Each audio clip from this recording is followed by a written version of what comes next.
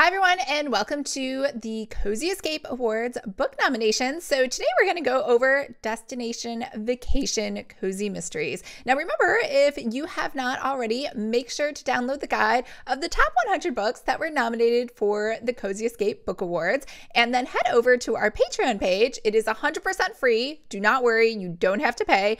Head over there, follow us completely here, free to hit the follow button and then go ahead and vote for all the books in the different categories that you want to vote for.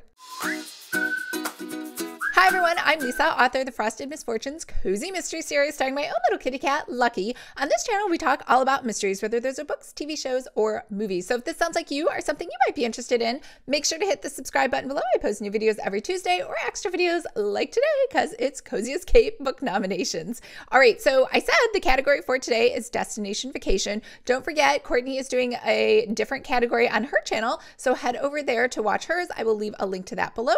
But the first book, and again, this is in no particular order.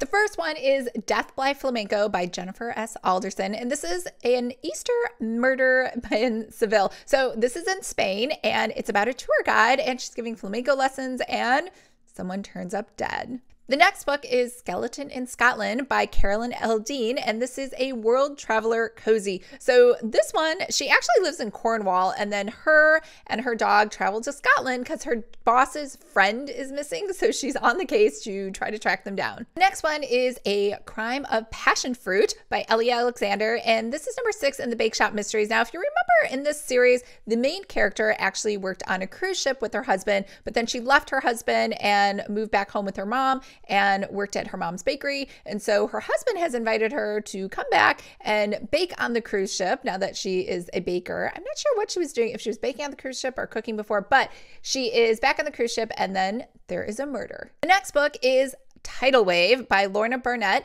And this is number 10 in a Booktown mystery series. Now, her book, I guess, was bookstore was burned to the ground. I actually haven't read this series. And so while her bookstore is being rebuilt, her and her mom decide to, or her sister decide to go on a mystery cruise. How fun would that be? I would like to go on a book mystery uh, lovers cruise. But anyways, this is a, like like people who love mysteries, not like people who are in love. That's what I meant.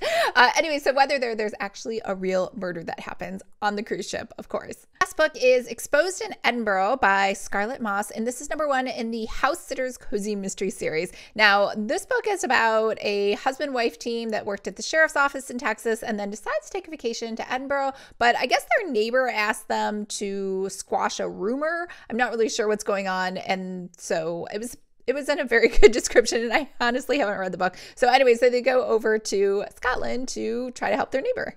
All right, that is it for the five books for the Destination Travel Mysteries. Make sure to download the Cozy Escape Awards Guide if you haven't already, and then head over to our Patreon page and vote for your favorite book from today's list. All right, I hope everyone's having a fabulous day, and I'll talk to you guys tomorrow for another book nomination list. Bye.